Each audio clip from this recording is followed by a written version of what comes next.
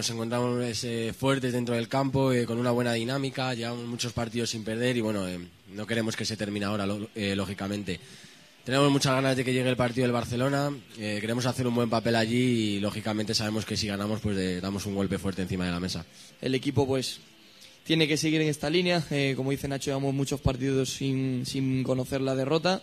Esperamos que siga siendo así y, y ojalá que, que en el Camp Nou pues consigamos un, un buen resultado. Yo creo que el equipo está con mucha confianza y, y con muchas ganas. Mister pues está sabiendo eh, manejar, manejar muy bien la plantilla. Yo creo que tenemos una de las mejores plantillas del mundo, por no decir la mejor. Hemos hecho una buena unidad, un buen grupo y, y entre el míster, cuerpo técnico, todos los jugadores, la verdad que, que el grupo que hay hacía mucho- muchos años que no se veía esto.